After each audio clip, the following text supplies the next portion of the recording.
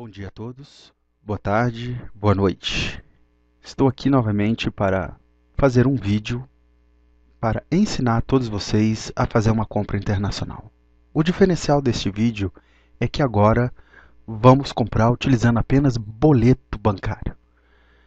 AliExpress, no dia 15 de agosto de 2013, disponibilizou esta ferramenta espetacular para todos os brasileiros. Isso, para mim, é que é se preocupar com o Brasil. Somos, se brincar, somos seus maiores clientes e eles, lógico, colocaram à nossa disposição esta ferramenta, este acesso a todos os brasileiros, a qualquer um brasileiro, independente de idade, né, independente de, de, de, de, de credo, independente de, de ter dinheiro ou não, independente de estar com o nome sujo ou não, Agora todos nós temos a possibilidade de fazer compra no AliExpress, fazer uma compra internacional. Então vamos lá. Primeira coisa, eu quero dizer aqui as vantagens e as desvantagens. Vamos lá. Eu enumerei aqui as vantagens em prim num primeiro momento. Primeiro, claro, você não precisa ter cartão de crédito internacional. Acabou. Você não precisa ter cartão de crédito. Lógico você também não precisa digitar os dados do cartão de crédito. Você não precisa, porque muitas pessoas têm receio de comprar no site, porque lá você só compra utilizando cartão de crédito. Ou seja, você vai ter que digitar os dados do seu cartão. Isso para mim não, não teve nenhum problema até hoje. Claro, se você tem cartão de crédito e deseja comprar com cartão de crédito, não houve nenhum problema para mim até hoje, em torno de 60, 70 compras que eu fiz lá. Nunca sequer eu tive problema. O único problema é se seu computador está infectado com algum trojan, com algum vírus, alguma coisa que possa roubar os dados do seu cartão. Outra coisa é o IOF. O IOF cobrado em compras internacionais via pagamento, como no boleto, é de apenas 0,38%. Isso aí é uma informação que o próprio, o, a própria página do Facebook deles passou. A outra é, a outra, outra vantagem é o valor do pedido não será alterado até o vencimento do boleto, mesmo se o dólar aumentar. Estamos passando hoje por um processo do dólar muito alto, de muita volatilidade, então as pessoas não têm mais que se preocupar com isso. Aquela, aquele valor que vai aparecer no seu cartão vai ser o valor definitivo, certo? Então vamos lá. Agora vamos às desvantagens. Está aqui. A desvantagem de comprar com boleto é o dólar turismo. Ele é o mais elevado, é a cotação do dólar turismo. É, então, para você ter uma ideia, o dólar 2,41, não, é, o dólar turismo está em torno de 2,60. Isso aí foi um, a primeira compra que eu fiz alguns dias atrás. Hoje é dia 23 de agosto, 24 de agosto. E eu fiz uma compra uh, alguns dias atrás utilizando, uh, utilizando boleto e foi me cobrado um dólar bem elevado. Mas lembrando que comprar com cartão de crédito você paga uma, uma, um IOF, que é o imposto do governo, de 6,38%. E aqui agora uma grande dúvida, o reembolso. Como será o reembolso? Com cartão de crédito, o reembolso era feito direto no seu cartão. Você fazia a compra, dava algum problema, entrava em disputa, eles creditava um valor no seu cartão. E agora? Como é que vai ser? Aqui na página do, do AliExpress, no Facebook, que eu vou disponibilizar o link para vocês, tem todas as perguntas e algumas respostas. Algo que eu quero agora com relação ao reembolso, como que ocorre o procedimento do reembolso?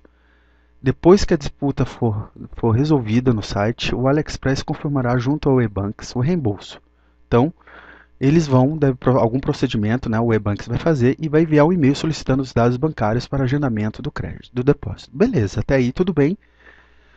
Como eu nunca entrei em disputa no site é, utilizando boleto, eu não sei como é que é. Então vamos ficar com o que está dizendo aqui a página oficial do Facebook, onde o link está aí embaixo para vocês. Vamos fazer a nossa primeira compra. Eu estou com esse jogo de faca de cerâmica de 10 dólares e 99. Lembrando todos vocês que você é, não pode esquecer de analisar aqui todas as avaliações. Esse aqui é um top seller. Ele tem simplesmente quatro diamantes. Isto é muito importante, muito importante a todos vocês, vocês observarem isso. E aqui eu preciso olhar os, os, os feedbacks né, que foram que foram feitos para, para os comentários que foram feitos com relação a esta faca. Todos os comentários, fine, excelente, todo mundo colocando realmente um feedback muito positivo nesse, nesse, nesta, neste, nesse jogo de faca. Então, para você que vai comprar, é muito importante você atentar a isso. 98,1%. Ele é realmente um top vendedor, um top rate seller. Ele é um vendedor muito bem cotado, muito bem cotado mesmo. Como comprar? Então, eu utilizando aqui o Google Chrome, já aparece tudo em português para mim. No site, no site você tem aqui a opção aqui em cima. Você já tem como, se você não estiver utilizando o Google Chrome, você já tem a opção de utilizar tudo em português. Então é só clicar aqui, toda a página fica em português para você, não precisando então utilizar aí o Google Chrome. Então agora a página está em português, algumas coisas, né? Tem algumas coisas em inglês. Então eu vou clicar em comprar agora. Está aqui, comprar agora. Vai aparecer ali em cima os dados da, do, do, do endereço. Confirme tudo direitinho para ver se não está nada, está tudo certinho. Vai vir no meu nome. Então aqui está. Você deixa alguma, aqui, bem aqui você escreve alguma mensagem para o vendedor alguma coisa é, que você deseja é, que o, o, vendedor faça na sua compra. Por exemplo, você quer que ele embrulhe de alguma forma, você quer que ele adicione alguma coisa, você, por exemplo, deseja a, a, a, as, as cores, por exemplo, aqui está dizendo que a cor é aleatória. Então, nessa caixa de mensagem é muito importante você deixar tudo o que você deseja, todas as recomendações necessárias para o vendedor. Então, fazer o pedido. Então, aqui está a página do pagamento. Veja aqui o meu produto está vai ser pago neste momento. Temos aqui a opção cartão de crédito, Visa, boleto bancário, maestro, uma pessoa que teve problema, uma dica, que teve problema de pagar com cartão de crédito, utilizou a função maestro e foi debitado do cartão de crédito. Web Money e aqui uma forma de pagamento russo, você vê que até a, a, forma de pagamento russo é já está disponibilizado. Somos realmente Brasil e Rússia são os melhores, são os mais os melhores compradores dele. Então vamos lá, selecione aqui a opção boleto bancário. Aqui está dizendo o seu CPF, muito importante. Pessoal, eu vou dizer para vocês, digitem seu CPF corretamente. Se você inventar qualquer CPF aqui, qualquer número de CPF e depois pagar com isso, você não vai ter um comprovante válido que ligue o seu nome com a compra para que você eventualmente possa solicitar uma revisão de tributo com a Receita Federal. Então é extremamente importante você digitar o seu CPF aqui. Então, então eu vou gerar agora o boleto. Vamos lá, digitando o seu CPF,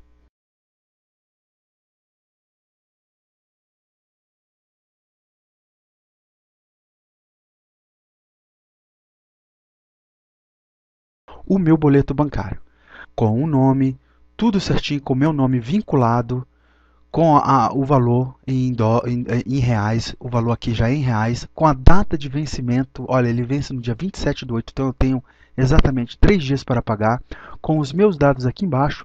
Aqui está a taxa de câmbio de 2,49, essa aqui foi a taxa de câmbio utilizado, e o IOF né, cobrado mais 10 centavos. Então, beleza, está aqui. Realmente, a taxa de câmbio é de 2,49 já tem tudo aqui utilizado. Hoje o câmbio está em 2,35, então eles estão me cobrando 15 centavos a mais. Esse é o dólar turismo hoje no, no Santander. Lembrando que isso aqui é Santander. Então estou pagando realmente um dólar altíssimo para poder fazer essa compra. Uma outra dica que eu dou para vocês, importante, importantíssima, é que vocês imprimam esta página. A página bem aqui embaixo está imprima isso aqui. Isso aqui é o teu comprovante, é o seu comprovante da compra.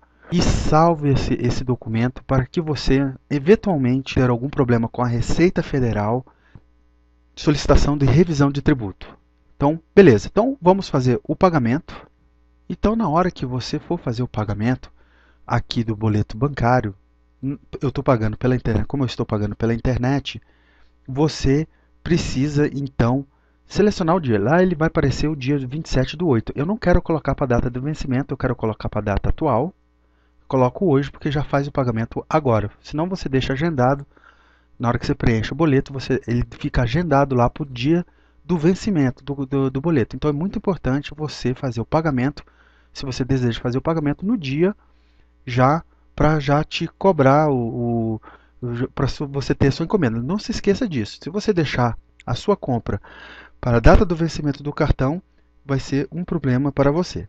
Aqui está, então, o pagamento efetuado da, do, do, do AliExpress, o pagamento efetuado, o número da autenticação. Então, imprima esse comprovante que sai se você for fazer o pagamento pela internet, ou você faz ou salva o comprovante.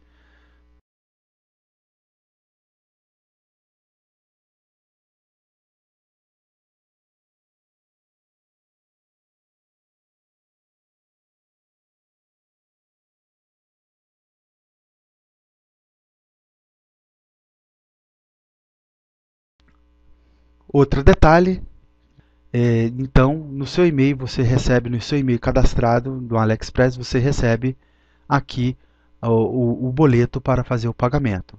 E em, em apenas um dia, um dia apenas, um dia como eu já, já fiz uma compra no site AliExpress, em um dia apenas já aparece o seu recibo. Você recebe no seu e-mail em um dia. Eu, quando fiz a compra, minha primeira compra, essa segunda compra, eu recebi um dia.